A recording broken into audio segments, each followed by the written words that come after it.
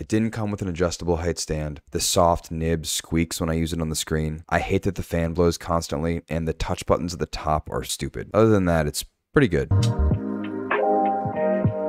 I've been loving using my Cintiq Pro since I unboxed it about six months ago, but I do have some complaints. Overall, the tablet is still really solid. The pen feels great in my hand and feels great on the screen. In fact, when I'm using it, I sort of stop noticing it, which is pretty much the hallmark of a well-designed piece of equipment. And aside from the occasional driver update, I haven't experienced any technical issues with the tablet. Some of you have posted in the comments of my other videos about technical problems you've experienced with other brands. I haven't seen anything like that from the Wacom Cintiq Pro, so so far so good. Now having said that, here are the complaints I have. The Cintiq Pro does not come with an adjustable tilt stand. All I get are these two little plastic feet that barely tilt the screen at all, so I have to strain my neck over the screen to really use it effectively. At first, I figured this was no big deal, but after using it for a little while, I've gotten some pretty bad back and neck pain from hunching over for hours at a time. And that's just not something you expect at the $2,000 price point. I mean, you would think for that amount of money, Wacom would include a stand. And not only that, but Wacom has the audacity to make the Cintiq Pro incompatible with standard VESA mounts, or Versa, whatever. The little four screws that all the mounts mounts on Amazon are compatible with. Wacom does have a VESA mount converter you can attach to the back of your Cintiq Pro,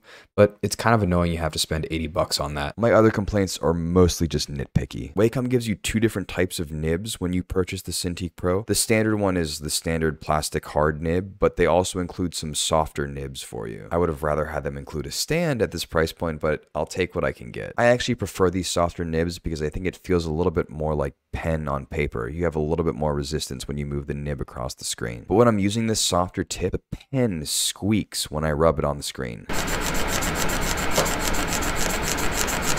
And the squeak is coming from where the nib is attaching to the inside of the pen. This sound drives me insane, so much so that I've gone back to the default nib that I prefer less. It's like one of those sounds that makes you just like clinch up and grit your teeth when you hear. Like for me, the same sound happens whenever I scrape the bottom of my teeth on like a really hard, crunchy piece of pizza. Oh, I can't even talk about this. Like a floury piece of pizza and your teeth just scrape on the bottom. Uh, I gotta stop. I gotta stop. I'm sweating just thinking about it. Anyways, Wacom does make other pens that maybe don't have this problem because I do think it's a problem with the way the pen attaches to the nib. In my original review, I mentioned that the fan starts blowing if you set the brightness above the factory default, and at first I said that wasn't really a big deal. Turns out I lied it does drive me nuts. It's one of those noises that when it stops, all of a sudden it feels like all the tension in the room is just gone and it's just peaceful and quiet. I actually prefer a pretty bright screen, but if I set the brightness to what I want, which is like 75%, the fan blows way too loud for me to use. I have to basically have my headphones on the whole time listening to music or else it will drive me nuts. So I kind of made a compromise with my tablet. I set the brightness to 60%, which is not quite what I want, and in return, the Cintiq Pro blows its fan a little more quietly. It seems like a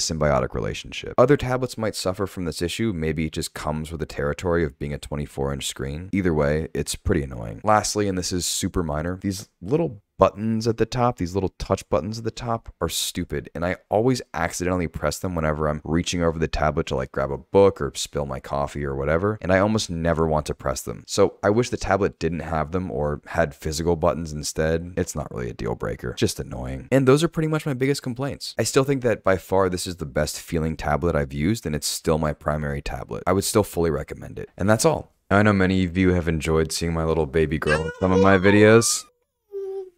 It's with bittersweet news I have to report this is the last time she'll be making an appearance. Because look at this. This is a full grown toddler now. You can rest assured this toddler will be making much chaos in most of the videos from now on. Yes.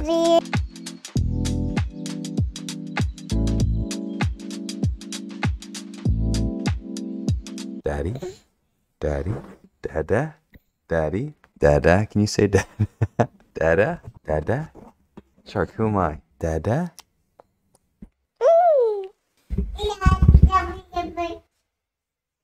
Close enough.